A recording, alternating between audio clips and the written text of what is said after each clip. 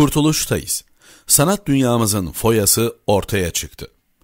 Alaska'daki depreme üzülen, dualar eden yurdum sanatçısı konu vatan evlatlarını katleden bir terör şebekesine gelince ölü taklidi yapıyor.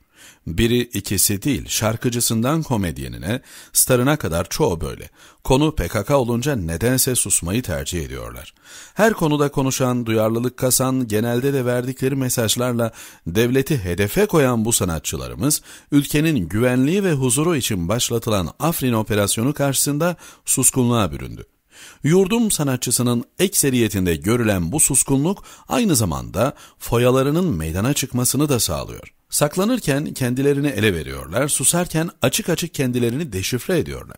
Hangi güçtür böyle yurdum sanatçısını susturan? PKK, PYD, YPG, HDP konusunda yurdum sanatçısı neden devletinin ve milletinin yanında duramıyor? Nasıl bir güç dengesi var ki sanat piyasasında insanı devlete ve millete karşı bir duruşa zorluyor? Demek ki sanatçıların karar alırken başını çevirip baktıkları yer devlet ve millet değil başka bir güç ağı. O şebekenin bu ülkeyi yıllardır içeriden demir ağlar gibi ördüğünü, kuşattığını görüyoruz. Bu ülkenin kaynaklarıyla semirenler, servet sahibi olanlar konu devlete ve millete gelince sırtını nasıl olur da böyle nankörce dönebilir? Bu sanatçı şebekesinin arkasındaki ağı irdelemek gerekiyor. Bu sanatçıları palazlandıranlar aynı zamanda bu kişileri kontrol ediyor. Hangi konuda konuşup konuşmayacaklarını bu güç ağı belirliyor. Tabi hangi konuda susacaklarına da. Devletin bekası konusunda susan ama savaşa hayır adı altında teröre destek veren sanatçıların foyası ortaya çıkmıştır. Arada bir Atatürklü paylaşımlarla da milleti kandıramaz, kendilerini gizleyemezler. Devletin bekasına kastedenlerle aynı dili konuşuyorlar. Neye ve kime hizmet ettikleri de artık tüm çıplaklığıyla ortaya çıkmış durumda.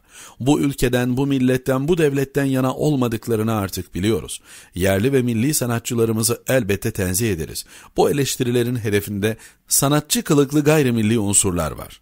Sanat dünyası böyle, peki medya dünyası farklı mı? Cumhuriyet, Bir Gün ve Evrensel Gazetesi'nin Afrin yayınları utanç verici. Dünyanın hiçbir yerinde terör örgütlerini bu kadar açık ve rahatça savunan medya yok. PKK'nın algı operasyonu bu yayın organları ve çalışanları yapmaktı. FETÖ'cülerle beraber terör örgütünün propagandasını yapıyorlar. Amerika'da olsa hepsinin başına nelerin geleceğini söylemeye gerek yok elbette. Bu cesareti devletin ve milletin yüce gönüllülüğünden, adaletinden alıyorlar. Ancak bunun da bir sınırı var. Sosyal medyada terör örgütü propagandası yapanlara yönelik dün kapsamlı bir operasyon yapıldı. Beşinci kol vazifesi görenlerin kimliğine bakılmaksızın gereği yapılmalıdır. Unutmayalım, acırsak acınacak hale geliriz. Kurtuluştayız, akşam.